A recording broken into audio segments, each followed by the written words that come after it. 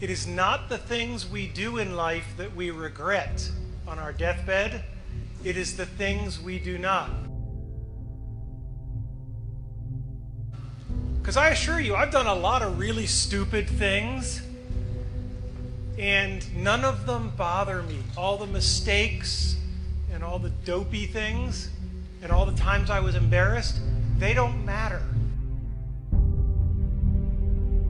We don't beat the reaper by living longer.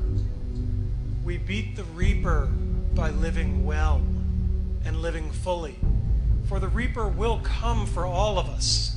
The question is, what do we do between the time we're born and the time he shows up? Because when he shows up, it's too late to do all the things that you're always to kind of get around to. So, what I want you to do is, is think about something you want for you, that's real for you, that's important for you, that will give your life some special meaning and power. You've got to be willing to stay focused, to be creative, to be relentless, because things are going to happen to you when you're working on your dream.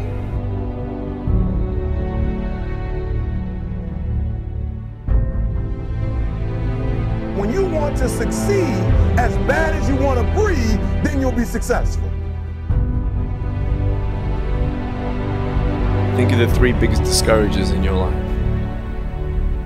They're not your biggest discourager. You are. You are.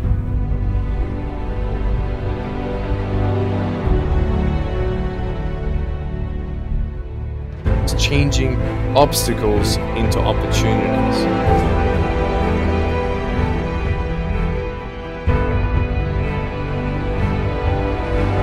And you will need to find your passion.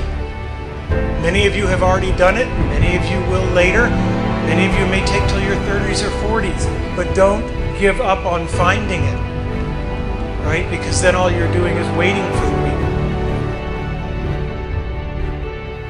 Never believe a prediction that doesn't empower you. And you cannot feel sorry for yourself.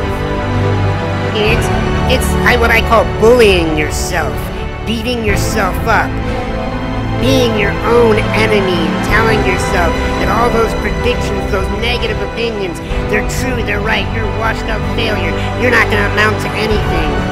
Bullying yourself is the most dangerous thing that you could do. You cannot afford to pity yourself. You cannot afford to bully yourself. You have to love yourself.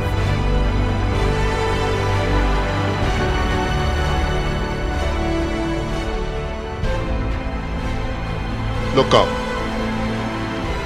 Get up. And don't ever give up.